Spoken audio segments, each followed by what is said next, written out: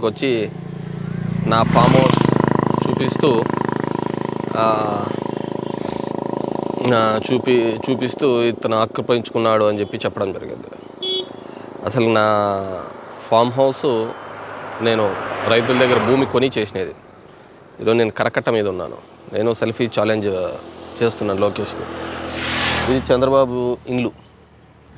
ఈ చంద్రబాబు గారు ముఖ్యమంత్రిగా ఉండి ఇంట్లో జాయిన్ అయినాడు. ముఖ్యమంత్రిగా ఉండి ఇంట్లో చేరి ఇప్పటికీ ఆ ఇంట్లోనే ఉన్నాడు. అది లింగంనేని వాళ్ళది. వాళ్ళకి డబ్బులు ఎలా ఇచ్చినాడో తెలియదు వాళ్ళ దగ్గర నుంచి ఎలా వచ్చిందో ఇతనికి తెలియదు రెంటల్స్ పే చేయకోకుండా ఉన్నాడు. అతనికి ఏ విధంగా ఫేవర్స్ చేసినాడో కూడా మనకు తెలుసు. Lingamaneni guest house. ఇది నేను ఉండేది ఇప్పుడు కరకట్ట మీద ఉన్నా. అంటే మన ఊర్లో చెరువు కట్టలు అంటారు అక్కడ కనపడే కృష్ణానది కృష్ణానది కృష్ణా నది అక్కడ కనపడుతోంది. యువతల చూస్తే పచ్చని వ్యవసాయ భూములన్నీ ఇక్కడ ఉండడం చూస్తున్నాం. పచ్చని వ్యవసాయ భూములన్నీ ఇక్కడ ఉన్నాయి. ఈ చెరువు కట్టని ఈ కరకట్ట అంటారు ఇక్కడ. ఈ కరకట్ట మామూలుగా ఎందుకు నిర్మించినారంటే కృష్ణా నదిలో ఎక్కువ ఫ్లడింగ్ వాటర్ వస్తే నీళ్ళు వస్తే కనుక ఈ కట్ట దాటి ఊర్లోకి పోకుండా ఇక్కడ భూములు కానీ ఇక్కడ ప్రజల్ని కానీ రక్షించడానికి కట్ట కట్టడం జరిగింది. కానీ ఈ ప్రబుద్ధుడు ఒక ముఖ్యమంత్రి స్థాయిలో ఇక్కడ కట్టకూడదు అని అక్కడ డిపార్ట్మెంట్స్ వాళ్ళు ఇచ్చినారు. ఇది ఎంక్రోజ్డ్ సైట్లో ఉన్నాయని కూడా ఈ గారు కూడా ఇవ్వడం జరిగింది. ఇరిగేషన్ ఈ వాళ్ళు ఇవ్వడం జరిగింది. ఈయన కోర్టుకు పోయి స్టే కూడా తెచ్చుకోవడం జరిగింది అనుకో. అలాంటి దాంట్లో ఈయన ఇల్లు కట్టుకున్నాడు. ఈయన మనకు నీతులు చెప్తున్నాడు. అంటే చెరువు కట్ట మేము అవతల కట్టినా కానీ ఏదైనా ఉంటుందేమో కానీ చెరువు కట్ట లోపల కట్టుకున్న దరిద్రుడు ఏడా ఉన్నాడు? ఒక ముఖ్యమంత్రి స్థాయిలో ఎవడో కట్టుకున్న ఇళ్ళల్లోకైనా కావచ్చు ఎవరిదైనా కావచ్చు. ఫస్ట్ నువ్వు పా చేయాల్సిన విషయం. ఆ విషయం ఇతను చేయలేకపోగా ఇతను ఇల్లు కట్టుకున్నాడు. ఇతను వచ్చి నా గెస్ట్ హౌస్ చూస్తాడు. నేను కూడా నా గెస్ట్ హౌస్ అంత బ్యూటిఫుల్గా ఉంటుంది అనుకోవటం లేదు. ఎందుకంటే మేము ఎప్పుడు ఉంటున్నాం కానీ దాంట్లో ఆ, డ్రోన్లో చూపించేంత వరకు ఓహో ఇంత అందంగా ఉందా అని మా ఫ్రెండ్స్ అందరూ ఫోన్లు చేసి అంటున్నారు. అంటే వాళ్ళ కెమెరా టెక్నిక్ ఏమో మరి అలా తీసుకొని వచ్చినారు. ఎస్ అది నా ప్రాపర్టీనే దాంట్లో పర్మిషన్స్ తీసుకున్నారు పర్మిషన్స్ తీసుకొనే కట్టినాను.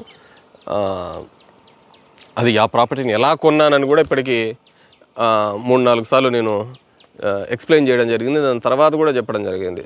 ఇంకా దీని గురించి ఎవడైనా కానీ మాట్లాడితే వాడు వేస్ట్ ఆయిల్ నేనేం చెప్పలేను దీని గురించి అని. నేను ఆ రోజు ఏ విధంగా మాట్లాడినాను ఏ విధంగా చెప్పినాను కూడా నీకు లింక్ చెప్తాను. ఈ ప్రాపర్టీ మాకు ఎలా వచ్చింది అనేది కూడా నేను లింక్ చూపి చెప్తాను. నిన్న ఆయన మాట్లాడుతూ లోకేష్ కేటుగాడు అని చెప్పి చెప్పి మాట్లాడడం జరిగింది. సరే నేను నా సొంత భూమిలో కట్టుకుంటేనే కేటుగా అయినప్పుడు మళ్ళీ ఈ విధంగా ఇరిగేషన్ ల్యాండ్లో ఒక ముఖ్యమంత్రిగా ఉన్నావు మాజీ ముఖ్యమంత్రిగా ఉన్నావు అలాంటి హోదాలలో ఉండి నువ్వు కట్టుకున్నావని నిన్ను ఏమని పిలిస్తే సరిపోతుంది. నీకు ఏమని చెబితే మీరు ఏ పేరు పెడితే సరిపోతుంది. కేటుగాడు అంటావా? మరి నిన్నేమనల్లా? ఇరవై నాలుగో పులికేసివా నువ్వేమన్నా ఇరవై నాలుగో పులికేసివా? ఒక విషయ పరిజ్ఞానం లేదు. ఎవడే చెప్తే అది రాసిస్తే ఎవడో రాసిస్తే అది చదువుతా పోతూ ఉంటావు. నువ్వు నాకు నీతులు చెప్తావా? నేను గుడ్ మార్నింగ్ ధర్మవరంలో పోయి కబ్జాలని చెప్తాడా? గుడ్ మార్నింగ్ ధర్మవరం ఇప్పటి నుంచి కాదు చేస్తాను ఇది రెండు వేల ఎనిమిది నుంచి చేస్తున్నా. ఆ సోషల్ మీడియా లేదు. ఆ విధంగా చేశాను కాబట్టి ధర్మవరంలో డ్రింకింగ్ వాటర్ ఇష్యూ ఉందేమో అడగండి. తాగినీళ్ళ సమస్య ఉందేమో అని చెప్పేసి అడగండి. భూములు కొనుక్కుంటే తప్పవుతుందా ఇన్ని ఇన్ని చెప్తున్నా నువ్వు ఒక్క ఎకరా ఎక్కడైనా కానీ మా భూమి కబ్జా చేశాడని ఇంతవరకు ఎవడైనా కంప్లైంట్ ఇచ్చినాడా? ఇంతవరకు ఎవడైనా కంప్లైంట్ ఇచ్చినాడా? ఇవ్వలేదు కదా. కబ్జా చేసింటే ఒక్క రైతుతో కంప్లైంట్ ఇవ్వమని నిన్న ఇది కూడా చెప్పాడు రాజీనామా చేస్తామని డెఫినెట్గా నేను కబ్జా చేసినానని కానీ నిరూపిస్తే ఒక్క రైతు వచ్చి తన భూమిని కంప్లైంట్ చేసినాడంటే రాజీనామా చేస్తా. లేదని పక్షంలో నువ్వు రాజకీయాల నుంచి తప్పుకుంటావా? నువ్వు కాదు నువ్వేమున్నావు రాజకీయాల్లోకి? ఊళ్ళలో వచ్చి ఊరికే అరుచుకుంటా పోతానావు తప్ప? పిచ్చుకుక్క అడిచినట్టు అడుస్తా పోతానావు మీ నాయన రాజకీయాల నుంచి తప్పుకుంటాడా? ఇసుక నూరు ట్రిప్పులు పోతుంది డైలీ అంటున్నావు బెంగళూరుకి. ఇసుకతో మాకు సంబంధమే లేదు. జేపీ గ్రూప్ అనే వాళ్ళు చేసుకుంటారు ఇసుక. అది గవర్నమెంట్ది. గవర్నమెంట్ వాళ్ళు వాళ్ళకి ఇచ్చినారు వాళ్ళు పే చేస్తున్నారు. అలా అయినా కావచ్చులే. ఒక్క ట్రిప్పు బెంగళూరు కానీ ఇంకో చోటికి కానీ పోయిందని నేను నిరూపిస్తే నిరూపిస్తే మీకు నేను రాజీనామా చేయడానికి సిద్ధం ఇంక మళ్ళీ ఎలక్షన్లలో కూడా పోటీ చేయను. నువ్వు మీ నాయకుడు చేస్తే దొమ్ముందా? నువ్వు మీ నాయకుడు చేస్తే దొమ్ముందా? నేను నీలాగా నోటికి వచ్చినట్టు మాట్లాడచ్చు ఇష్టాన్సన్ కేటగాడు కాదు కదా. నువ్వు ఇంకా ఇంకా అంతకంటే గలీజ్ బూతులు కూడా తిట్టచ్చు. నువ్వు స్టాన్ఫర్డ్లో చదివినావేమో నేను తాడిపత్రి అరవింద్ ఆశ్రమంలో చదివినాను. తర్వాత గుంటూరులో విజయవాడలో చదివినాను. నువ్వు స్టాన్ఫర్డ్లో చదివినట్టు లేదు. ఆడేందో ఇంక వేరే వ్యాపారం పెట్టుకున్నట్టు ఉంది. సో నేను అంతకంటే మా నీచంగా మాట్లాడగలను. కానీ నీకు నాకున్న తేడా చూపించాలి కదా ఎక్కడో చోట. గుడ్ మార్నింగ్ అనే కార్యక్రమం పెట్టినది జనాల దగ్గరికి పోవాలా అని జనం దగ్గరికి వెళ్ళాలి జనం దగ్గరికి వెళ్ళాలి. సోషల్ మీడియా నా దాంట్లో వేల వీడియోస్ ఉంటాయి. నీ దగ్గర మాట్లాడుతున్నవాడు వీళ్ళు అందరిని అడగండి. ఒక్క రైతుని చూపిమనండి అయ్యా ఒక్కడుగు ఎక్కడైనా కానీ మేము చేసామని చెప్పేసి. మా భూమి ఇలా అన్యాక్రాంతంగా గుంజుకున్నాడు చేసుకున్నాడు. అని చెప్పేసి చూపిమనండి. ఏది పడితే అది నోటికి మాట్లాడుతున్నాడు మరమేకలపల్లి సిబిఆర్ మునకలకు నాకు ఇరవై కోట్లు తీసుకున్నారని చెప్పి చెప్తావా? కడుపుకు అన్నం తింటున్నావా? ఇంకేమైనా తింటున్నావా? రెండు వందల నలభై కోట్ల రూపాయలు Chitravathi balancing reservoir ten TMC capacity పెంచినప్పుడు మరమేకలపల్లి సీసీ రేవు పీసీ రేవు రాఘవంపల్లి ఈ గ్రామాలకు అన్నిటికీ కూడా నేను డబ్బులు ఇప్పించడం జరిగింది. ఎక్కడైనా కానీ ఎవరైనా కానీ ఒక్క రైతు కావచ్చు ఒక్క జనం కావచ్చు ఎమ్మెల్యేకి మమ్మల్ని డబ్బులు అడిగినాడు అని చెప్పేవాడు ఒక్కని రమ్మనండి. మరమేకలపల్లి అనే ఊర్లో ఎప్పుడు మీకు రెండు వందల మూడు వందల మెజార్టీ. అందరూ మీ వాళ్ళే ఉండేది. మీ క్యాస్ట్కి సంబంధించిన వాళ్ళు అత్యధికులు ఉన్నారు. వాళ్ళు ఉన్నారు కదా వాళ్ళని అడగండి. వాడు ఏ పార్టీకి సంబంధించిన మీరైతే వ్యాపారం పెట్టుకొని ఆ పార్టీ ఈ పార్టీ మీకు ఇప్పటికీ అక్కడ ఎస్సీలకు అరవై మూడు మందికి రాకపోతే నూట ఏడు మందికి రాకపోతే గవర్నమెంట్తో కొట్లాడి నేను జీవో తీసుకొని వచ్చి రావడం జరిగింది. ఇమీడియట్గా వాళ్ళకి రిలీజెస్ కావాలా? ఏడు లక్షల నుంచి పది లక్షలు ఎన్హాన్స్. ఏం చేశారు? టిడ్కో ఇళ్ళ దగ్గర పోయిన నువ్వు వస్తానప్పుడు మూడు రోజుల ముందర కొట్టినావని అబద్ధాలు చెప్తావా? ఆ కలర్స్ కొట్టి ఎన్నాళ్ళు అవుతుంది దాని పక్కనే కనపడి ఉంటుంది కదా Kethireddy colony Indiramma colony YSR colony అని చెప్పి పదహారు వేల ఇండ్లు ఇచ్చినారు. రెండు సెంట్లతో ఇచ్చి చేరుకున్నారు. నేను ఇచ్చినప్పుడు ఇండ్లు. ఇప్పుడు పద్నాలుగు వేల ఇండ్లు ఇచ్చినాం. నువ్వు కట్టించినది ఎనిమిది వేల ప్లాట్లకు గాను పద్నాలుగు వందల ప్లాట్లు మా ఊర్లో ప్లాట్లే అపార్ట్మెంట్లు మా ఊర్లో అపార్ట్మెంట్లు సరిపోవు. ఎందుకంటే మగ్గాలు వేసుకునే దాంట్లోకి ఇబ్బంది అవుతుంది. వాళ్ళకి తెలియకుండా నువ్వు ఒక్కొక్క టిడ్కో హౌసెస్ మీద వాళ్ళకు ఫైనాన్షియల్ కమిట్మెంట్ పెట్టావు. మా గవర్నమెంట్ వచ్చినాక ఒక రూపాయితో మేము రిజిస్ట్రేషన్ చేపిస్తానమని చెప్పినాం. నోటికి ఏది పడితే అది మాట్లాడతా పోతా అంటే మేము అంతకు మించి మాట్లాడలేమా? ప్రతి చోట కూడా ఆ లోకల్గా గొడవలు పెట్టాలా? వాళ్ళు వాళ్ళు కొట్లాడుకోవాలి? సిగ్గున్నోడు ఎవడైనా చెప్తాడే? ఒక పార్టీ అధ్యక్షుడు ప్రధాన కార్యదర్శి అంటావు పన్నెండు కేసులు ఇరవై కేసులు ఉంటే తప్ప నా దగ్గరికి రాకూడదు అంటారా?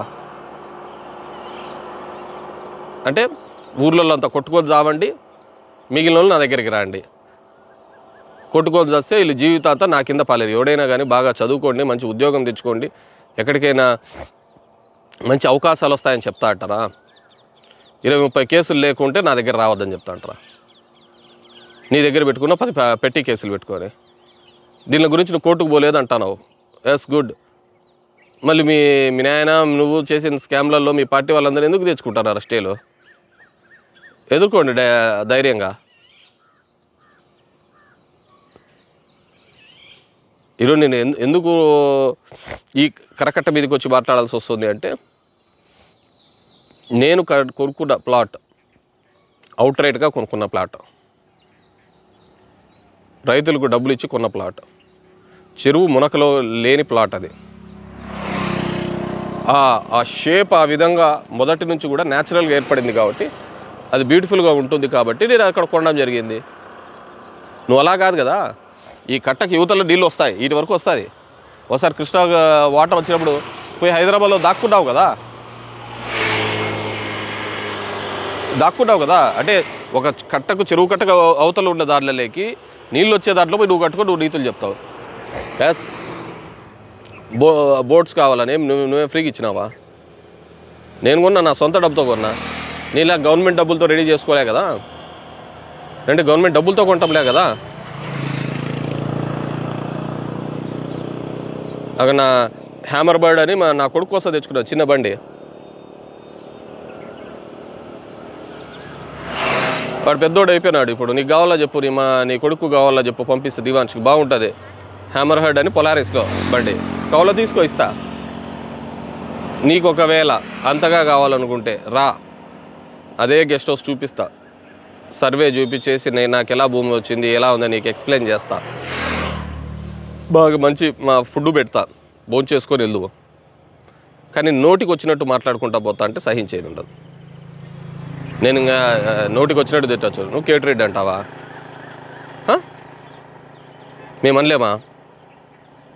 ఏమన్నా మేము అన్నామనుకో మా అమ్మని అన్నారు నన్ను అన్నారు అని చెప్పి ఏడ్చా కూర్చుంటారు. నీ నీ నీ ఆలోచన ఏంటంటే ఆడదాన్ని అడ్డం పెట్టుకొని ఇంక రాజకీయాలు చేసుకుంటూ పోవాలా? అంటే నువ్వు మాట్లాడే మాటలకు కేవలం ఇదంటేనే బాధ అవుతా ఉంటుంది మా వేరే వాళ్ళకి బాధలో ఉండదావా నోటికి వచ్చినట్టు మాట్లాడుతా అంటే. సో లోకేష్ నువ్వు ఎదగాలి అనుకుంటే నువ్వు రాజకీయాల్లో ముందుకు పోవాలి అనుకుంటే దెర్ ఈజ్ సర్టన్ ప్లాట్ఫామ్స్ ఉన్నాయి. ఆ పద్ధతిలో మాట్లాడుకుంటా పోతూ ఉంటే ఏదన్నా కానీ ఓహో వీడు మె మెచ్యూర్డ్గా ఉన్నాడు ఈ రాష్ట్రానికి ఉపయోగపడే నాయకుడు అనుకుంటారు ఇలాగ అనుకున్నాడు అనుకో వీడు పది కాలాలు ఉండవుడు పోతాడు ఏడు తొందరగా అంటారు. ఇట్లయితే ఏడుంటాడు బా ఈడే ఉంటాడు అని నెత్తికి ఎతకొస్తున్నాడు అంటారు. సో నిన్న నువ్వు మాట్లాడిన మాటలు. ఎవడో బస్ స్టాండ్ ఎదురుగా బ్రాహ్మిన్స్ది ల్యాండ్ అది. ఐదు ఎకరాలు ల్యాండ్. ఆ ల్యాండ్లో వేరే వాళ్ళు ఎంక్రోచ్ అయి ఉన్నారు. దాంట్లో ఉన్న కొంతమంది కలిసి ఇలా ఎన్నాళ్ళని ఎంక్రోచ్ ఉంటాం మనం రైట్ఫుల్గా తీసుకుంటే మనకు హక్కు వస్తాయి లోన్స్ వస్తాయని చెప్పేసి పోవడం జరిగింది. పోయినారు వాళ్ళు కొనుక్కున్నారు వాళ్ళ బ్రాహ్మిన్స్ దగ్గర. ఎందుకంటే ఎవరైతే హక్కుదారులు ఉన్నారో వాళ్ళ దగ్గర కొనుక్కున్నారు. నువ్వు కొంటావా లేదా అనేది నీ ఇష్టం.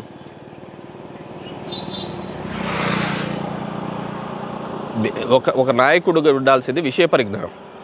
ఎవడు చీటీలలో రాసిస్తే వాడి చీటీలలో రాపేయడం కాదు. నిన్న ముప్పై ఇసుక బండ్లు పోతున్నాను ఎక్కడ పోతున్నాయి? నాడు నేడు స్కూల్స్కి పోతున్నాయి.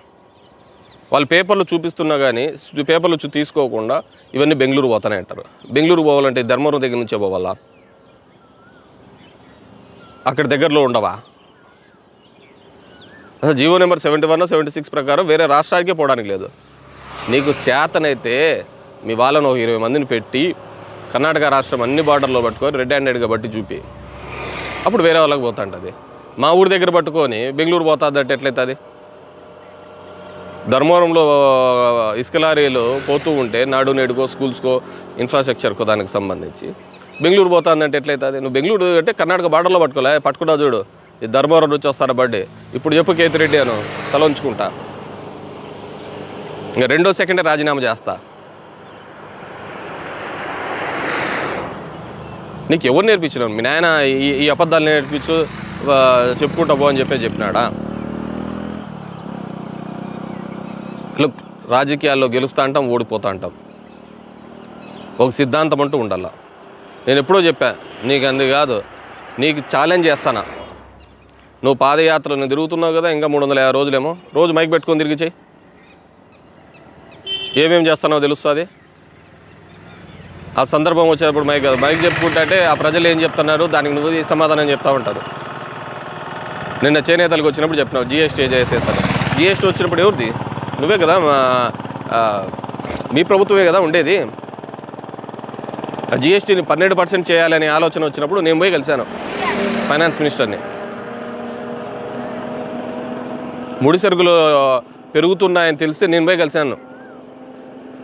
ఇలా ఇంపోర్ట్ డ్యూటీస్ ఎక్కువ అయిపోయి దా బ్యాన్ ఉండడం వల్ల మనకు సిల్క్ రావటం లేదు. దానివల్ల ఇక్కడ బాగా పెరుగుతుంది. దెర్ ఇస్ ఎ గ్యాప్ ఉంది. సప్లైకి డిమాండ్కి గ్యాప్ ఉంది. సప్లై తగ్గిపోయింది. డిమాండ్ అయిపోయి ప్రైస్ ఎస్కలేషన్ అవుతున్నాయని చెప్పేసి నేను పోయి కలిశాను. నిర్మలా సీతారామన్ గారిని. నోటికి వచ్చినట్టు మీ నాయన ఒకటి చెప్తూ ఉంటే నేనే కంప్యూటర్లు కనిపెట్టినా నేనే ఫోన్లు కనిపెట్టినా నేనే కరోనా మందు కనిపెట్టినానని అరే ఏం నాకు అర్థం కావటం లేదు. ఆంధ్రప్రదేశ్ ప్రజలు ఇంత తిక్కలు అయిపోయినామా దాన్ని ఎక్కడికంటే అక్కడ నీ మీడియా ఉందని సోషల్ మీడియా ఉందని ట్రోల్ చేస్తారో లేకుంటే ఇంకోటి పెడతారంటే కమ్ టు ద ప్రాక్టికల్ నేను ఈ రోజు నుంచి చేస్తున్నాను పదహైదు సంవత్సరాల నుంచి చేస్తున్నాను. Good morning Dharmavaram. దానివల్ల ఎన్నో ఇష్యూస్ ఐడెంటిఫై చేశా. నువ్వు మీ ఊర్లో జరిగిన మా ధర్మవరంలో దానిలో డెవలప్మెంట్లలో నువ్వు చేసిన దానిలో ఒక్కదానికన్నా సెల్ఫీ వీడియో ఎందుకు తీయలేకపోయినావు ఎందుకు తీసుకున్నావు టిట్కో ఇళ్ళ దగ్గర తీసినావు పద్నాలుగు వందలు. నేను ఎన్ని కట్టించా? ఇరవై ఆరు వేల ఇల్లు కట్టించా. పక్కనే ఉంది టిట్కో ఇళ్ళు పక్కనే. ఎందుకు ఫోటో తీయలేకపోయినావు అలాగే ముందరికి వస్తుంటే జంక్షన్ కనపడుతుంది. ఆడ లెఫ్ట్లోకి పోతా అంటే కేతిరెడ్డి సూర్యప్రతాప్ రెడ్డి ఫ్లైఓవర్ ఉంటుంది. నేను కట్టించా. తొంభై ఎనిమిది కోట్ల రూపాయలతో ధర్మవరంలో తాగునీళ్ళు నేను కట్టించా చే- చేయించాను. తాగునీళ్ళ సమస్య లేకుండా చేశా. చేనేతలకు మొట్టమొదట ఆరు వందల రూపాయలు తీసుకుని వచ్చిన నేను. తర్వాత వెయ్యి రూపాయలు మీరు చే- మీ ప్రభుత్వంలో చేస్తే ఇవ్వకపోతే నేను మీ ధర్నాలు చేసినాం. కాదని అక్కడ ప్రజలకు చెప్పమనండి. సో పబ్లిక్కి నా నీడ్ ఉందా లేదా అని వాళ్ళు ఆలోచించుకోవాలి నేను కాదు. నా అవసరం ఉందంటే నాకు ఓటేస్తారు. నా అవసరం లేదనుకుంటే ఓటేయరు దానికి ఏముంటుంది so I'm doing my best ఈరోజు ఆరు వందల ఎనభై కోట్ల రూపాయలతో జిల్లేడు బండ ప్రాజెక్ట్ జరుగుతోంది. వచ్చింటే నీకు ఆడ సెల్ఫీ ఒకటి వీడియో తీసి పెట్టింది కదా? నువ్వేం చేసినా ఒకటి చూపి ఉండాల్సిందే నాలుగు వందల ఎనభై కోట్ల రూపాయలతో Bathalapalli Mudugubba four lane express highway జరుగుతుంది. ముదుగుబ్బ నూరు కోట్ల రూపాయలు బైపాస్ జరుగుతోంది. ఇవి మానేసి ఒకటి ఒక్క ఒక వీడియో చూసిన నేను చూపించా. నువ్వు నిన్న ఇచ్చావు కదా ఛాలెంజ్ నేను చెప్తున్నాను కదా. ఒక రైతుడు చూపి మనం. నేను చేసినట్టు. నా పేరు మీద ఉన్నట్టు. వాళ్ళని బలవంతంగా తీసుకున్నట్టు. నువ్వు వదిలిపెట్టి వెళ్ళిపోతావా?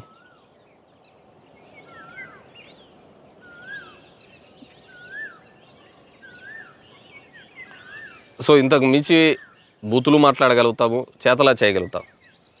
నువ్వు వచ్చి పీకేదేమీ లేదు పెట్టేదేమీ లేదు.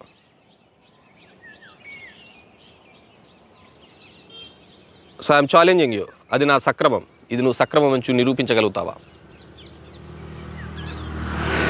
నేను కొన్న భూమి సక్రమంగా కొన్నా.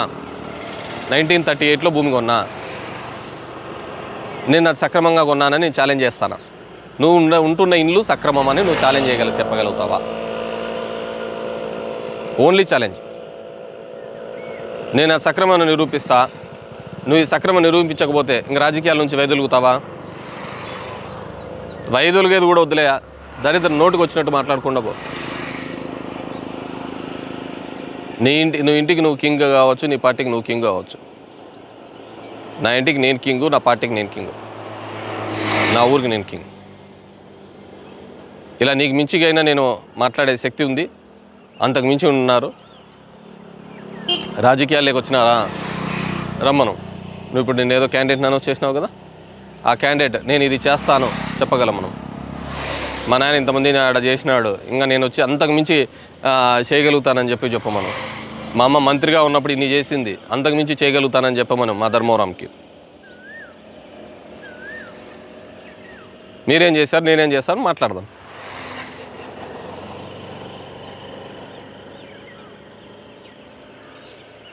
సో ఐ రిక్వెస్ట్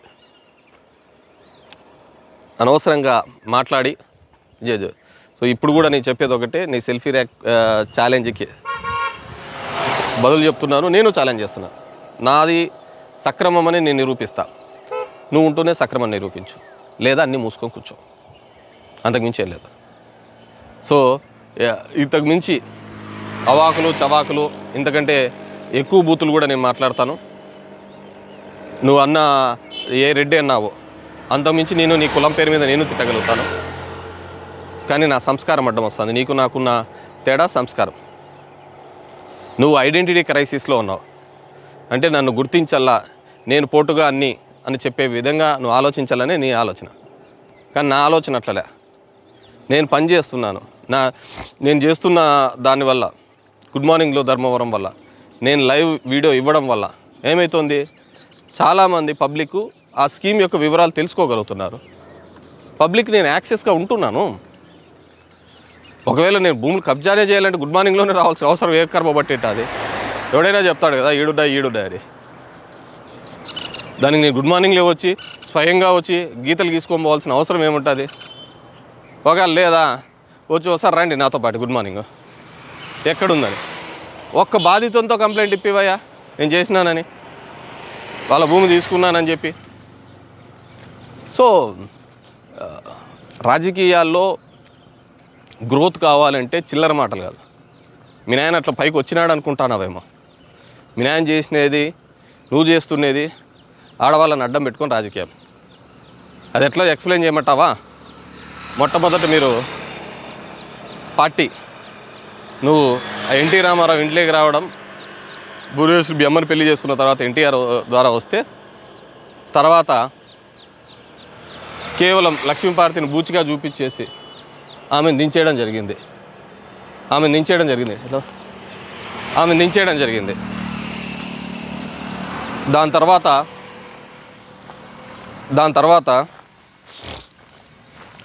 నువ్వు జయప్రదంగా పార్టీ గుర్తుని ఏ విధంగా తెచ్చుకున్నావు? అదేవిధంగా నీకు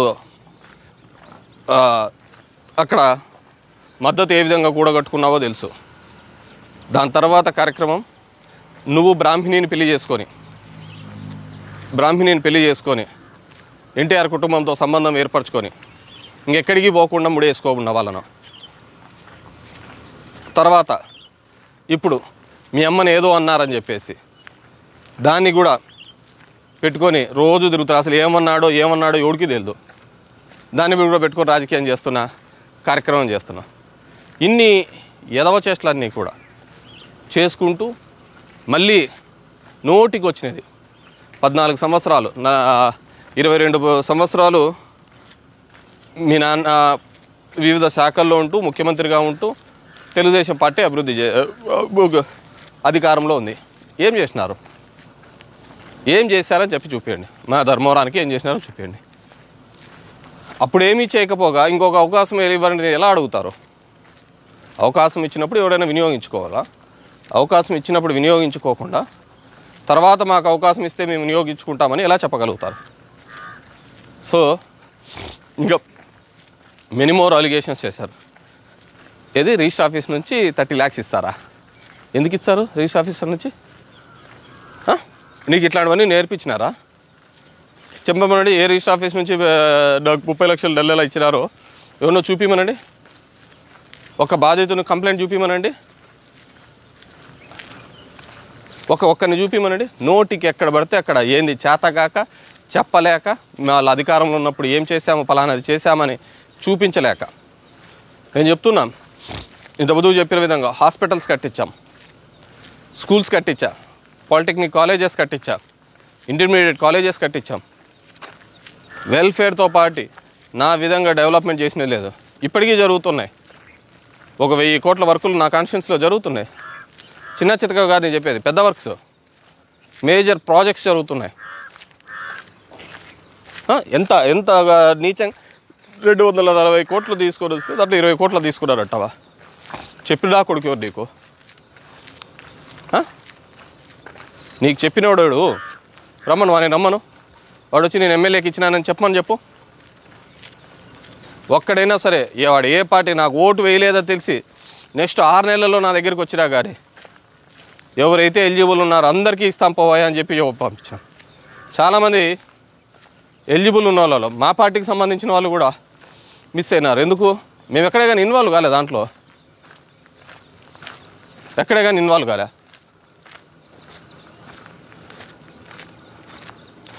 మీరు చెప్తున్నారు మాకు నీతులన్నీ. సో లోకేష్ గారు ఇంకా గారనే అంటున్నా. నువ్వు గాడు అన్నావు. ఇంకా నేను ఇంకా అంతగా మించి నీకు మాట్లాడిన నీ సంస్కారానికి నేను నేను నేను దిగజారినట్టున్నాను ఇంతవరకు నా దగ్గర పోస్టులు కానీ మేము పెట్టిన దీనిలో కానీ ఎక్కడే కానీ సైబర్ సంబంధించి కానీ ఇది అది అది కృష్ణా రివర్. పక్కనే ఉన్నాం పక్కనే ఉన్నాం. ఇప్పుడు కట్ట దిగి కిందికి వచ్చినాం. ఎక్కడే కానీ ఇలా సైబర్ పోస్టులలో కానీ తప్పుడు కథనాలు కానీ ఇంతవరకు పెట్టలేం. మా మీద తప్పుడు కథనాలు ఆరోపణలు చేసి ఉంటే వాళ్ళని కోర్టుకి పెట్టి కేసు పెట్టినాం. మేము ఎప్పుడే కానీ ఇంత నీచంగా పెరిగినది కాదు పెంచినది కాదు. మేము మేము అంటా అంటాను కదా.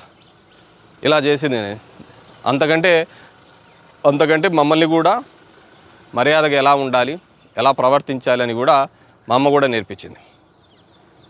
సో మీ అమ్మ నీకు బూతులు నేర్పించింది. మా అమ్మ మాకు సంస్కారం నేర్పించింది.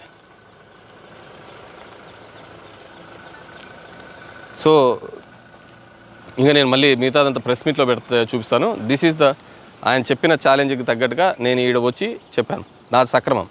నీ సక్రమమో కాదో నువ్వు చెప్పు. థ్యాంక్ యూ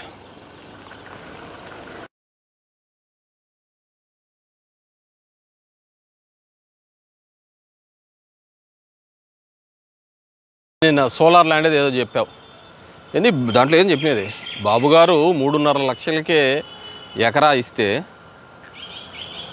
ఈయన కంపెనీ వాళ్ళని బెదిరించి మూడున్నర లక్షలకు మళ్ళీ చేసుకున్నాడు ఇతను అని చెప్పి చెప్పడం జరిగింది. మూడున్నర లక్షలకు కంపెనీ వాళ్ళు ప్రైవేట్ వ్యక్తి దగ్గర నుంచి కొన్నారు. ప్రైవేట్ వాళ్ళు ల్యాండ్ పూల్ చేసి సోలార్ కంపెనీకి అమ్మడం జరిగింది. సోలార్ కంపెనీకి అమ్మితే ఆ సోలార్ కంపెనీలో ఇంతకుముందు మీ తెలుగుదేశం పార్టీ ఎమ్మెల్యే అక్కడ అతను సోలార్ వాళ్ళు ప్లాంట్ పెట్టుకోకుండా డబ్బులు వసూలు చేసినాడు. పెడితే డబ్బులు ఇస్తేనే కానీ పెట్టండి లేకుంటే లేదు అని చెప్పేసి. దానికి ఆ కంపెనీ వాళ్ళు పారిపోవడం జరిగింది. ల్యాండ్ ఇప్పించినారు అంటున్నావు. ల్యాండ్ కొనేది యాక్చువల్గా ప్రైవేట్గా అది కూడా నువ్వు బాబు గారి ఖాతాలోనే వేసుకున్నావు ప్రైవేట్ ల్యాండ్ని కూడా నువ్వే బాబు సరే మరి ఎందుకు కంపెనీ పోయింది? అక్కడ నుంచి ఎందుకు పారిపోయినారు? అప్పుడు పేపర్లలో పెద్ద పెద్ద కథనాలు వచ్చినాయి కదా. వాటి వాటి సంగతి ఏంది? పెద్ద పెద్ద కథనాలు వీళ్ళు బెదిరించింటే పోయినాయి అని పెద్ద పెద్ద కథనాలు వచ్చినాయి. ఆ విధంగా వాళ్ళు పారిపోవడం జరిగింది. పారిపోయిన తర్వాత వాళ్ళ దగ్గర నుంచి నేను అవుట్ రేట్గా కొనడం జరిగింది. మేము ఇక్కడ ప్లాంట్ ఇన్స్టాల్ చేయటం లేదు అని చెప్పి వాళ్ళు అమ్మడం జరిగింది కొన్నాను. దాంట్లో ఇంకోటి ఏముంటుంది? బెదిరింపు ఏముంటుంది? నాకు అర్థం కాదు కంపెనీ వాళ్ళు ఏమైనా చెప్పినారు బెదిరించినామని చెప్పి. చెప్పమనండి కంపెనీ వాళ్ళని వచ్చి. మేము బెదిరించినాం వాళ్ళ దగ్గర అని? ఎది కంపెనీ అంటే మేము ఆడ భూములు కూడా కొనుక్కోకూడదు. కొంటే అది కబ్జా దౌర్జన్యం. మీరు మాత్రం వేల ఎకరాలు చేస్తా ఉండాలి అంతే కదా? మేము అవుట్ రేట్గా కొన్నాం. మీ కంపెనీ వాడు ఎవడైనా బెదిరించినాడని చెప్పినాడా? మీ ఆ కంపెనీ అక్కడి నుంచి ఎందుకు పోయింది? పారిపోయింది. తెలుగుదేశం ప్రభుత్వంలో పారిపోయింది అది. మీరు బెదిరించడం వల్ల పారిపోవడం జరిగింది. దాని తర్వాత మేము కంపెనీ పెట్టలేమంటే ఆ ల్యాండ్స్ నేను తీసుకోవడం జరిగింది. That's reason. నువ్వు పులికేసి ఇరవై నాలుగు మా దృష్టిలో. నీ మాటలు చేష్టలు అన్నీ కూడా. నేను ఈరోజు కేవలం నువ్వు చెప్పిన దానిలకో దీనిలకో కాదు. I'm responsible to my Dharmavaram people. వాళ్ళు నన్ను ఓటు వేసి గెలిపించడం జరిగింది. నాకు ఓటు వేసిన యాభై ఒక్క పర్సెంట్తో పాటు మిగతా నలభై తొమ్మిది పర్సెంట్ హండ్రెడ్ పర్సెంట్స్కి నీ పర్సన్స్కి నీ జవాబుదారితనంగా ఉండాలి. వాళ్ళకి ఏ కష్టం వచ్చినా నేను ముందు ఉండాలి. ఆడ కట్టించే ఇళ్ళ ఇళ్ళ కార్యక్రమంలో పోయి చూడండి. ఎవడే కానీ ఏ వివక్షన్న పెట్టామా అని. So I'm responsible for them. వాళ్ళకి నచ్చలేదో వద్దు అనుకుంటే అనుకుంటారు నువ్వు పెట్టినదనే బంగారు. నువ్వు పెట్టినతనే అక్కడ చేసిన వాళ్ళు వాళ్ళ నాయన వాళ్ళు చేసిన పాపాలు అన్నీ కూడా బంగారం కనపడుతుంది అది వాళ్ళ కర్మ. నేనేం చేయలేను కదా? సో నేనేమి రాజకీయాల మీద మోజో ఏదో అయిపోతానని వచ్చిన వాడిని కాదు. కంపల్సరీ పరిస్థితులలో నేను రాజకీయాల్లోకి వచ్చిన వాడిని. నా వల్ల మేలు జరిగింది అనుకుంటే ఇతను ఉంటే మేలు ఎప్పుడైనా కానీ మనకి ఏ పని కావాలన్నా వెళ్ళి కలవచ్చు అంటే ఒక పబ్లిక్ రిప్రజెంటేటివ్గా నేను ఉంటాను. Then people has to decide so నేను ఇప్పటికీ నేను మా నాన్నగారు నైంటీ ఫోర్లో చేసినాడు నైంటీ నైన్లో చేశాడు నేను టూ థౌజండ్ నైన్లో ఫోర్టీన్లో నైన్టీన్ నెక్స్ట్ వచ్చి ఫోర్త్ ఎలక్షన్స్. థర్టీ ఇయర్స్గా.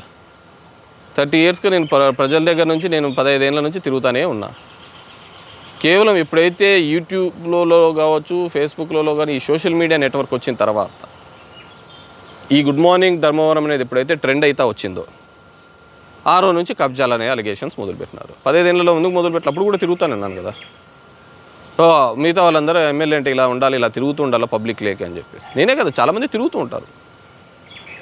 నేను సోషల్ మీడియా అనేది ఒక అది నా సొంత టీవీ ఉన్నట్టు. నేను దీనిలో ఎక్కడ కట్ పేస్ట్లు ఏం వదలటం లేదు కదా. కంప్లీట్గా లైవ్ వదులుతున్నారు. కొన్ని యూట్యూబ్ ఛానల్స్ దాంట్లో కట్ చేసుకొని వాళ్ళకి కావాల్సిన కంటెంట్ వదులుతూ ఉండొచ్చు. మంచిగా వదులుతుండొచ్చు చెడుకు వదులుతుండే నేను ఎప్పుడు వాళ్ళది కూడా నేను బాధ చేయటం లేదు కదా. ఇట్స్ మై డ్యూటీ సో నా టీవీ ఛానళ్ళలో నా సొంతం ఉన్నట్టు నాకు నా నా ఒపీనియన్స్ చెప్పుకోవడానికి. ఈ సోషల్ మీడియాని వాడుకుంటున్నాను. లేదనుకో మెయిన్ స్ట్రీమ్ మీడియాలలో మీరు ఇచ్చే కవరేజ్లు మీ తప్పుడు కథనాలు మీ ఏబిఎన్లో టీవీ నైన్లో సారీ టీవీ ఫైవ్లో ఈనాడులో టీవీ ఫైవ్లో తప్పుడు కథనాలన్నీ వస్తాట సో ఇప్పుడు నువ్వు అన్ని అలిగేషన్స్ చేసావు. ఇప్పుడు నాకు సోషల్ మీడియాలో ఒక ప్లాట్ఫామ్ ఉంది కాబట్టి నేను చెప్పగలుగుతున్నాను. నేను చెప్ప ఈ ప్లాట్ఫామ్ లేకపోతే నేను చెప్పలేను కదా. నేను ఖండించలేను కదా వాట్స్ ద ఫ్యాక్ట్ అని. ఇదే ఫ్యాక్ట్ అనుకుండే వాళ్ళేమో. అది లేకపోయి ఉంటే సోషల్ మీడియా ప్లాట్ఫామ్ లేకపోతే నువ్వు చెప్పినదే వేదం ఇదే న్యాయ నిజమేమో అనుకుండే వాళ్ళేమో. దీనిలో యాక్చువల్లీ దీనిలో గురించి పూర్తిగా విత్ డాక్యుమెంట్స్ మల్టిపుల్ వీడియోస్లలో ప్రెస్ దగ్గరనే ప్రజెంటేషన్ చేయడం జరిగింది. మీరు నా దాంట్లోకి పోతే అవన్నీ కూడా దొరుకుతాయి లింక్స్లలోకి. వెళ్ళి చూడండి. ప్రతి డాక్యుమెంట్ సపోర్టివ్ డాక్యుమెంట్గా నేను ఇవ్వడం జరిగింది. సో బేస్లెస్ అలిగేషన్స్తో నువ్వు మాట్లాడుకుంటున్న పోయే పద్ధతి వల్ల నువ్వు చీప్ అయిపోతున్నావు. జనాలు ఉంటారు నీ పార్టీ క్యాడరు విజిల్ వేయచ్చు అప్పుడు ఎగలాడచ్చు వాళ్ళున్న ఊపులో వాళ్ళు తీసుకున్న దానిలలో ఉండొచ్చు. కానీ ఎండ్ ఆఫ్ ది డే ఒక సెక్షన్ ఆఫ్ ది పీపుల్ చూస్తూ ఉంటారు. కంపోజర్ ఉందా లేదా అని. మధ్యతరగతి వాళ్ళు పేదవాళ్ళు జనము నీ నీ పార్టీ వాళ్ళు కాకుండా వీళ్ళు తొంభై పర్సెంట్ ఉంటారు. వీళ్ళు చూస్తుంటారు అరే ఏంద్రా ఇట్లా మాట్లాడుతున్నాడు? ఇంత చీప్గా మాట్లాడుతున్నాడు? అని చూస్తూ ఉంటారు పబ్లిక్. సో ఫస్ట్ నీ ఐడెంటిటీ కోసం ఈ తిట్టే కార్యక్రమాలు నోటికి వచ్చిన బేస్లెస్ అలిగేషన్ చేసే కార్యక్రమం మార్కోడు మేము తిడితే రాత్రి లేడుస్తా పోతా అంటావు ఇంకా పనుకుంటావు ఊరికే. నా తిట్టినాడు నన్ను తిట్టినాడు అని చెప్పేసి. మాకు ఎవడు నువ్వు నువ్వు గొప్ప కాదు ఇంకోడు గొప్ప ఏం కాదు. నాకు నేనే గొప్ప. సో అలాంటప్పుడు నేను ఏ నా నా జోలికి వస్తే నేను ఏమైనా మాట్లాడతాను. ఈ రోజుకి కాబట్టి ఇలా కాబట్టి నేను పర్ఫెక్ట్గా మంచి భాషతో మాట్లాడుతున్నాను.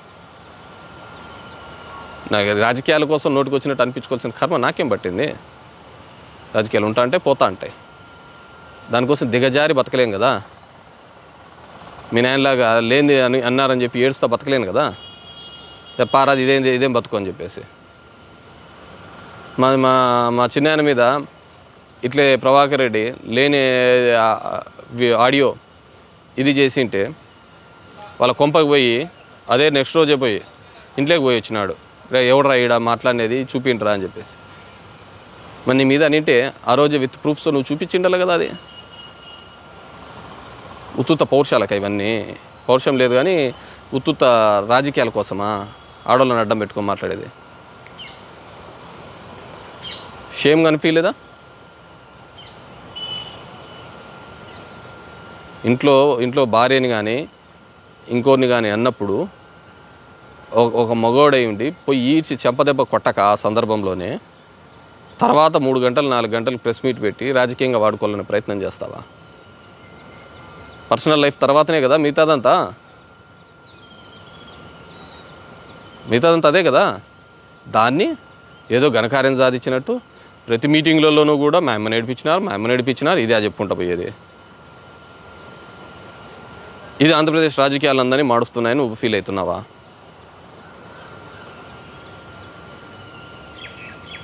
అంటే చీప్ వే పాలిటిక్స్ కదా? ఎలా చెప్పుకొని తిరుగుతున్నావు అదే అదే విషయాన్ని? ఫోటోలు అలాగనే మాట్లాడింటే అదే సందర్భంలోనే ఏమైతే అయింది అనిందరు కదా? ముసలోడయ్యా ఆ రోజు వాళ్ళ భార్య అంటే ఆడే పోయి ఈడ్చి కొట్టినాడు అని చెప్పేసి. అనిందరు కదా? ఊర్లో అంటారు మామూలుగా. ఊర్లో తన భార్యని ఎవరైనా కానీ చిన్న చేతగానోడు అన్నా కానీ అప్పుడే గలాటకు వస్తాడు మొగున్నంటే భార్య అప్పుడే గ- గొడవకు వస్తుంది నా మావాన్ని ఎందుకు వస్తావు? అని చెప్పేసి. ఇలా రాజకీయాల కోసం నీచం కోసం వాడుకోరు. ఈ రాష్ట్రంలో అత్యంత నీచమైన రాజకీయం చేస్తున్నది ఎవరంటే తెలుగుదేశం పార్టీ. అత్యంత నీచమైన రాజకీయం. నాకు ఆ బతుకు బతకాల్సిన అవసరం లేదు. ఎవరితోనో మాట పడాల్సిన అవసరం లేదు ఇది లేదు. మేమేం జన డబ్బులతో బతకాల్సిన కర్మ లేదు కాబట్టి.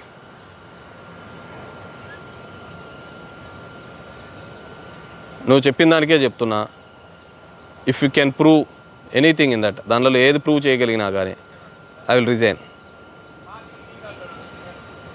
ఇరవై నాలుగు గంటలు టైం ఇస్తున్నా. నువ్వే చెప్పావు నువ్వే ఛాలెంజ్ చేసావు. రాజీనామా చేస్తావా అని చెప్పేసి. ప్రూవ్ చేయి ఇరవై నాలుగు గంటల్లో. ప్రూవ్ చేయకపోతే నువ్వు రాజకీయంగా కూడా నువ్వు పనికిరావు థ్యాంక్ యూ